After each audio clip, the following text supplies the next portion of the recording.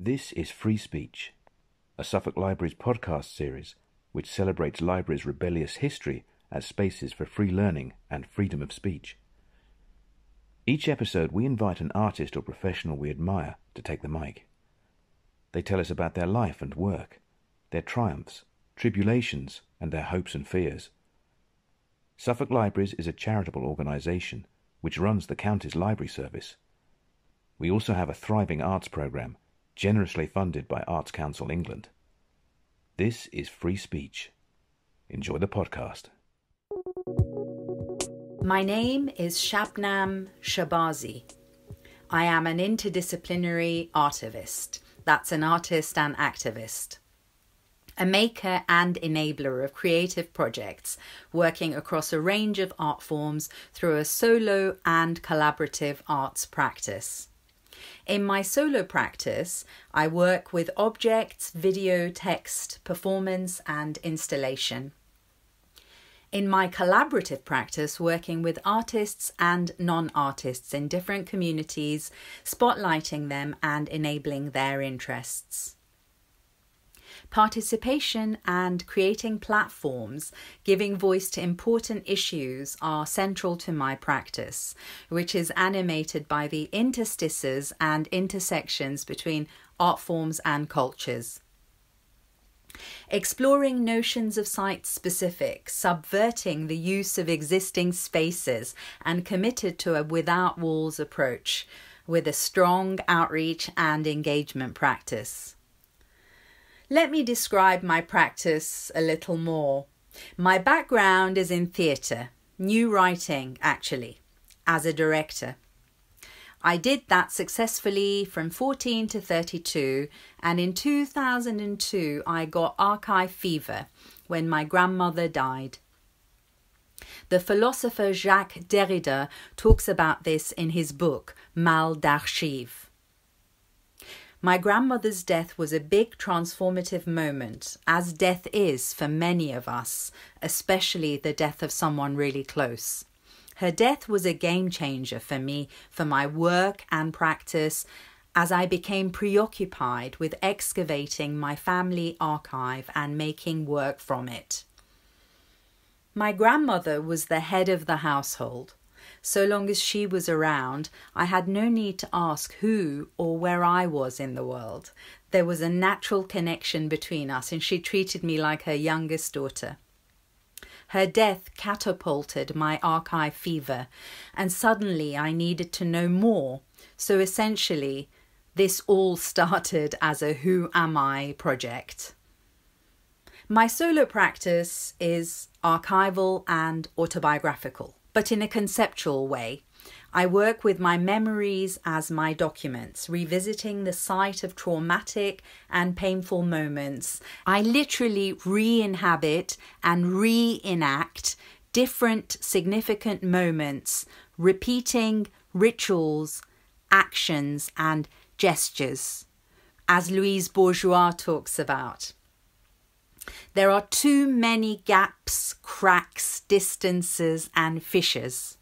I cannot access my ancestry as tangibly since I have grown up displaced in the West with the mainstream society making no meaningful attempts to really know me or represent me or my history on the curriculum or anywhere else. As Erykah Badu says, no, you won't be naming no buildings after me. My name will be misstated. I can really relate to this.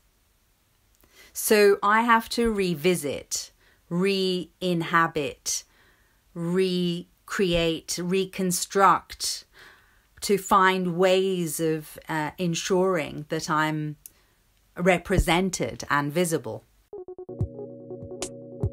Displacement age two or three, parental divorce, babies having babies. In the name of tradition, culture. Culture is an excuse to stop progress. I cross cultures, I cross waters, movement, story of my life, never in one place. My feet are sore, always walking, never arriving. What you're hearing here is Speaker's Corner, a performative installation I created. Speaker's Corner is uh, inspired by my experiences of being forced to leave Iran at the height of the Iranian Revolution of uh, 1979 with my mum, grandmother, and aunt. I was nine. I needed to revisit this moment. It was a, a process of uh, revisiting the matriarchal family archive, reconnecting with family I hadn't seen since the age of nine, uh, interviewing family members and friends, um, doing different actions as part of the process, inspired from my own history or memory, um, as well as leading my own independent research uh, working with my own memories and personal uh, archives. Every component of this project was personal, uh, even the items in the car. Uh, and the car became like a living museum where you entered and you could look through everything that was there the objects, the documents, albums, video you could watch with headphones, and at the same time, and significantly, there was this three way sound in the car, changing narrative, my voice coming from the front speakers of the the car amplified telling you a story and two other sound sources in the back of the car my mum's voice looped uh, saying a sentence about arriving in the UK and what it was like. And the reason it's called Speaker's Corner is because my mother and grandmother used to be speakers there, and I used to tag along every Sunday. It was like Speaker's Corner was my playground in those early years of arriving as a political refugee kid in um, London. When you enter, you hear my voice speaking my truth and telling the story from my personal perspective. Displacement aged 9. Loss of the fatherland. February 7th, 1979, a month before my ninth birthday. The Iranian woman at the anti war rally said the Iranian revolution was the most democratic revolution. Stupid woman. There is no such thing as a democratic revolution. We all know that. I'm one of the children of the revolution. All revolutions are bloody. There are two types of reaction one is revolution, one is subversion. I prefer subversion.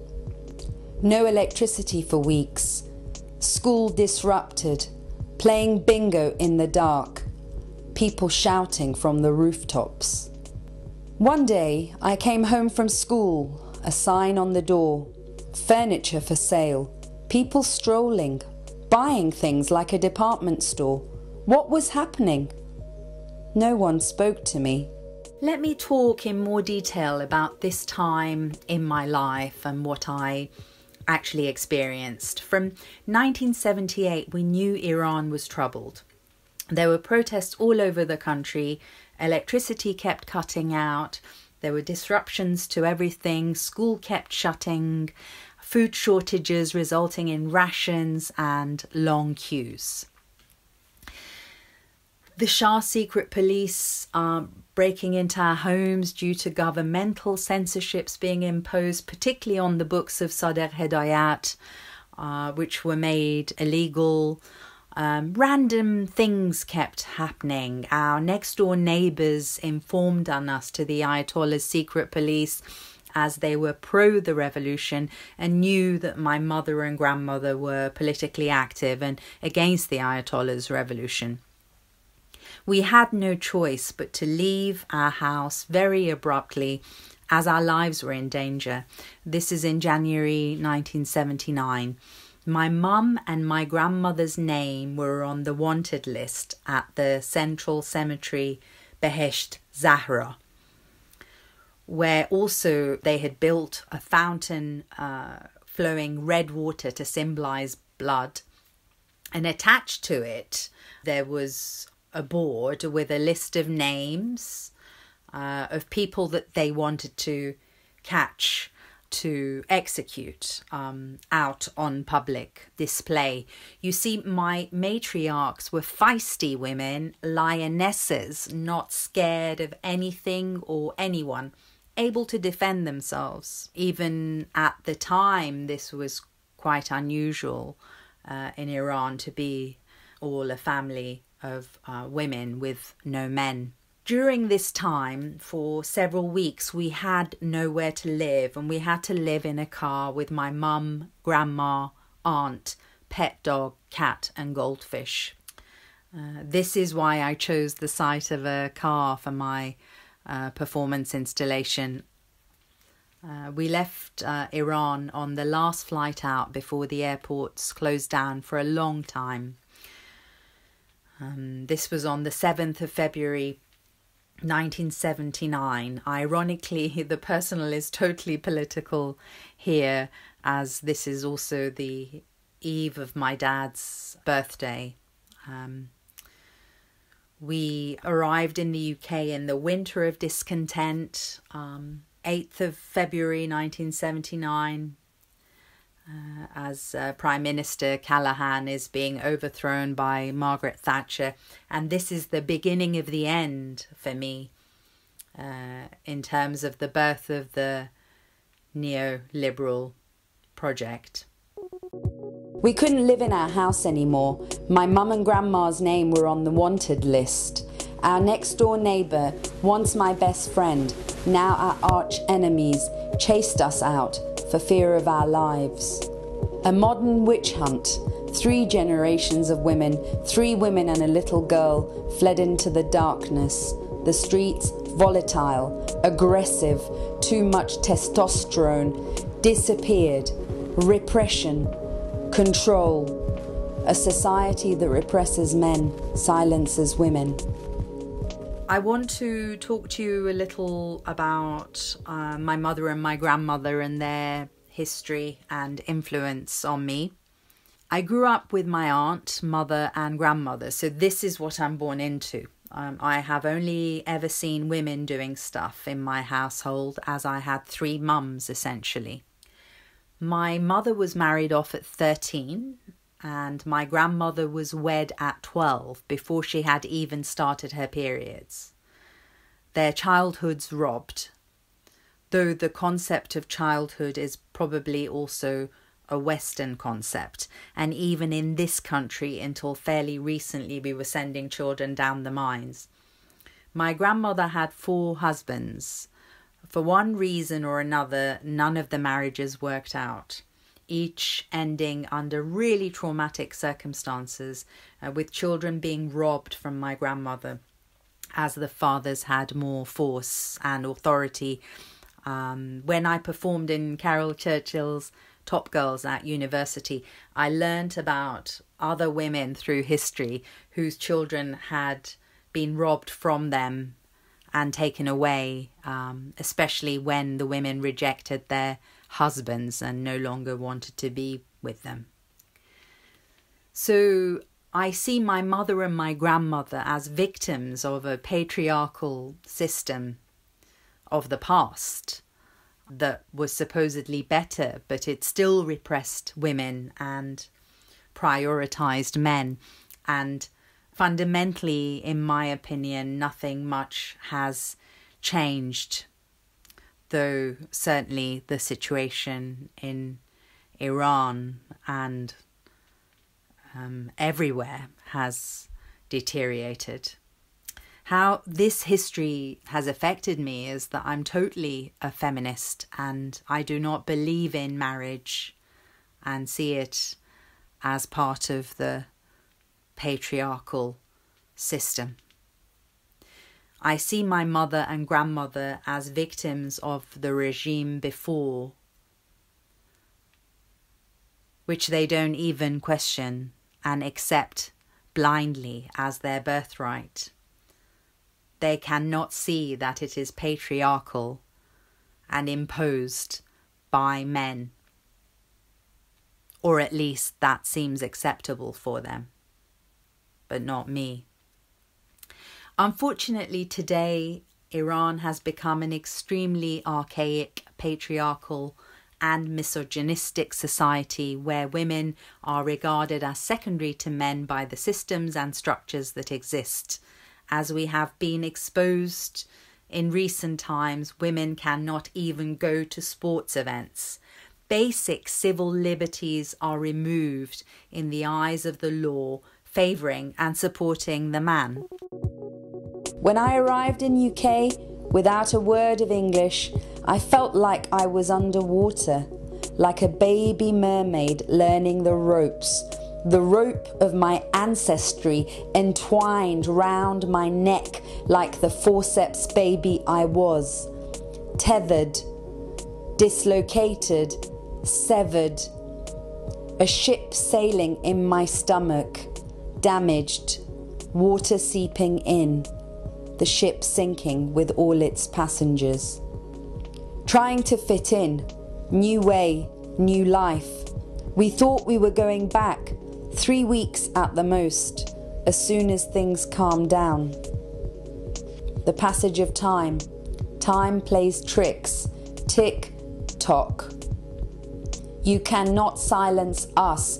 You cannot silence us. You cannot silence us. You cannot silence me. Shout back. Daddy can't see me. No freedom to cross any borders. He needs a letter of invitation. We are looked upon as terrorists. Illegal immigrant, leave to remain. Political asylum. Then one day, swear oath to the Queen to be good citizens, British citizenship, assimilate to accumulate. I've been in UK since 1979 and what I learn is from the perspective of being in the UK and the UK press which is heavily censored so that is all I know. Iran is a country that has been at war which has been colonized by British and Americans. Iran is British Petroleum's first project.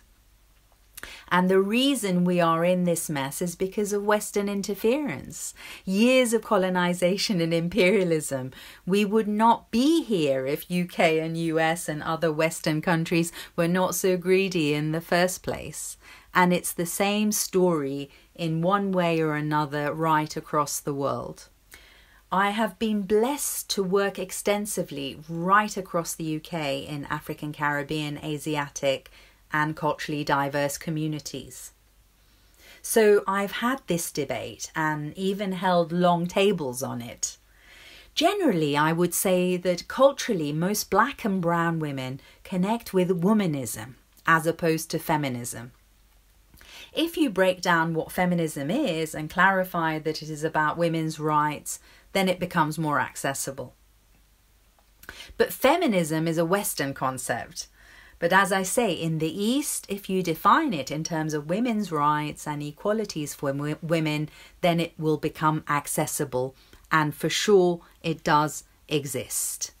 There is not an official term for it in my mother tongue, just terms like rights of women or freedom of women or equalities for women.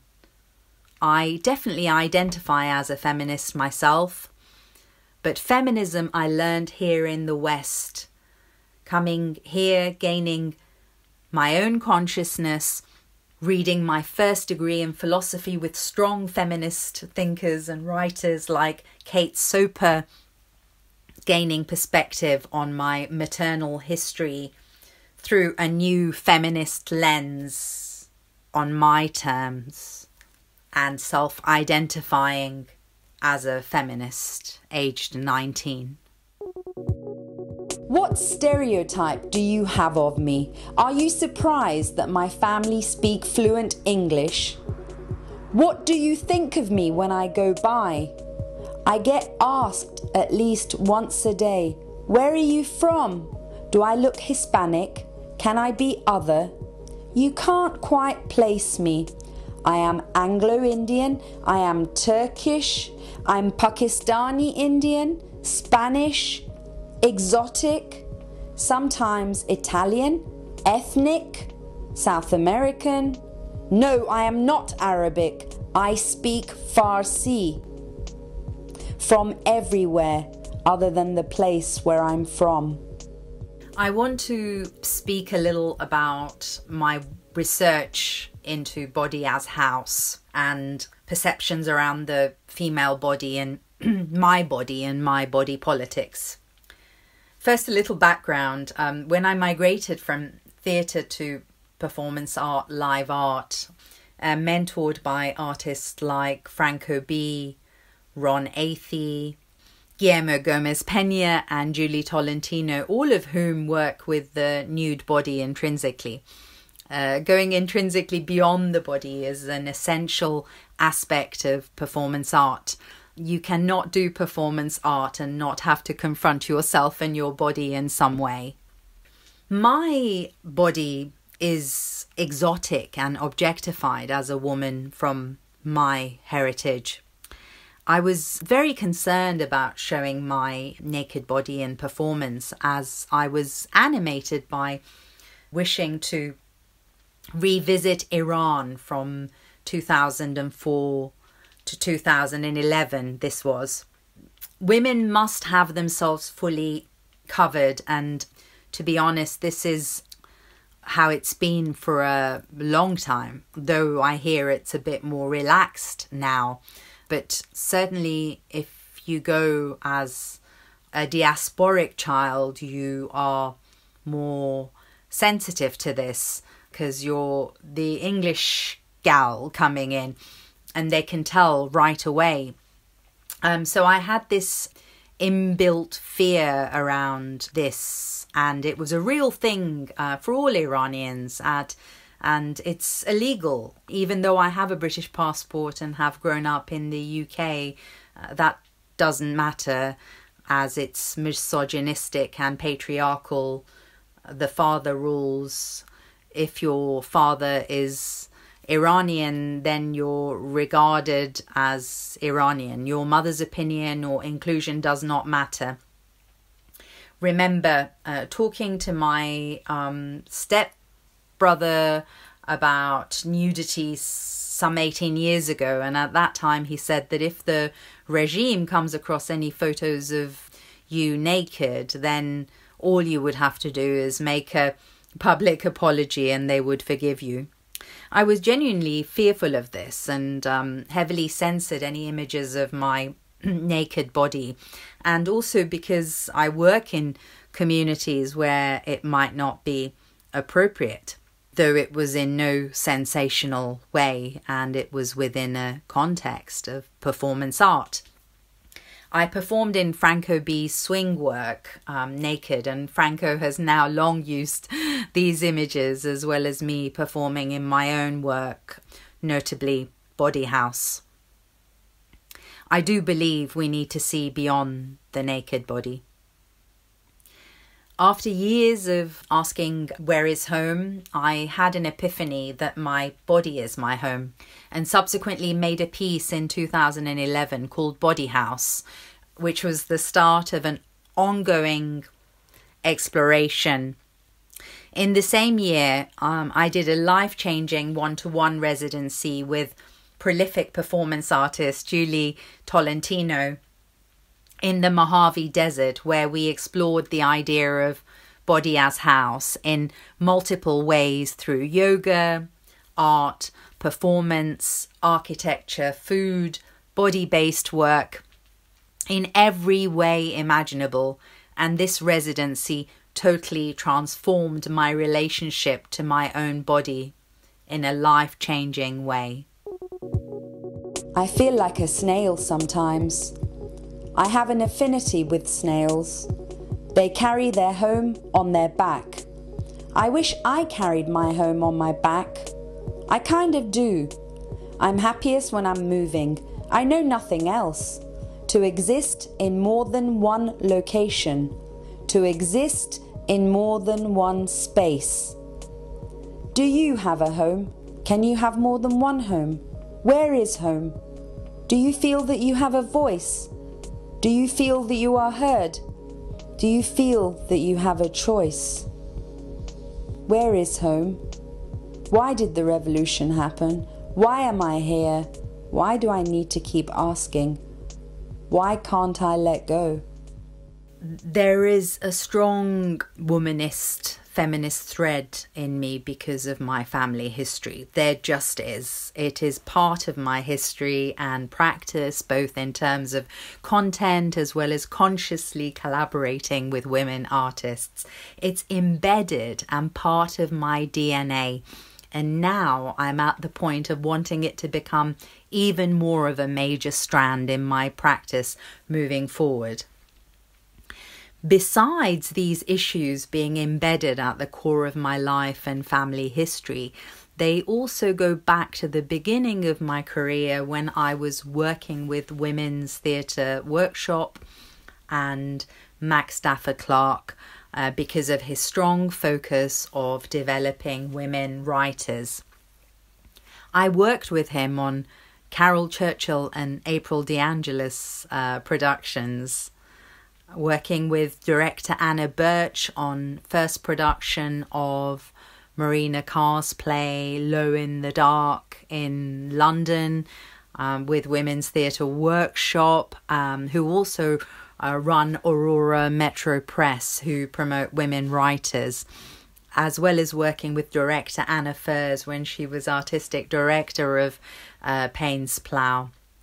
Both Annas uh, were strong feminist directors influenced by the politics of the 60s.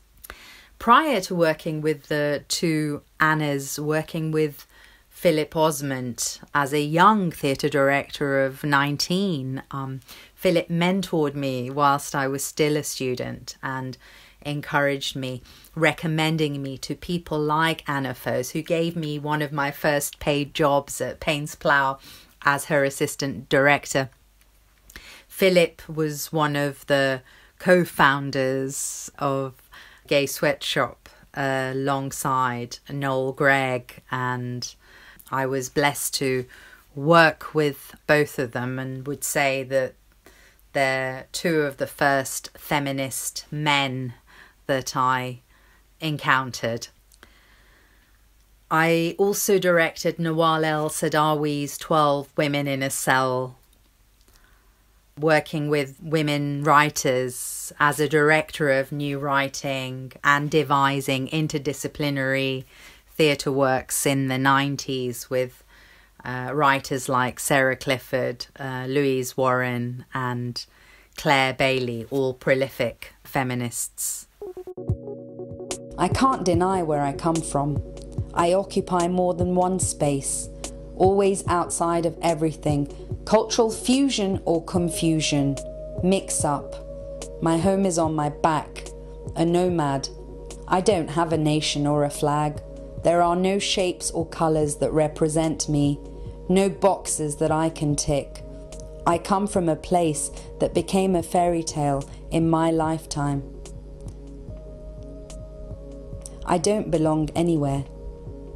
No, I belong everywhere. I don't belong anywhere. No, I belong everywhere. The world is mine. I belong everywhere. I organised a really powerful performative event a few years back when I was working as artistic associate uh, of the Red Room called Women's Edition. We wanted to look at where feminism is today taking an intergenerational, intersectional approach, also involving feminist men. Like with all causes, feminism needs to take an intersectional, intergenerational approach, in my opinion. There's so many inequalities in this world of art, not just around women. Again, patriarchal system not serving any of us. So many wrongs committed we are stepping backwards in the world since 1980s beginning of the neoliberal project which is why the systems and structures are in such a mess and we're living through this political chaos. The fact that we're in a patriarchal model is ruining everything every sphere and we need to find ways of pushing back on patriarchy The patriarchal model and approach is informing everything, and it really does not serve us, as I say, nor Mother Earth.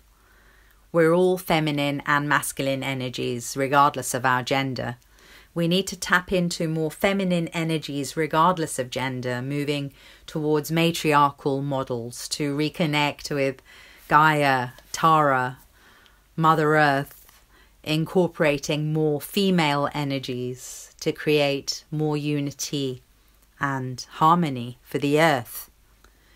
If you're an artist or creative, bringing, exploring those subjects in your work, finding creative ways of articulating them, and it's not time to be quiet. I really feel that um, the role of the, the artist is to find ways of speaking out against inequalities and uh, injustice and to be a political instrument with a small p and indeed taking action based on your means and challenging existing power structures and uh, status quo. I mean, you don't have to be an artist, but as um, a person, just thinking about what you stand for and what you're passionate about and, and how you can change that.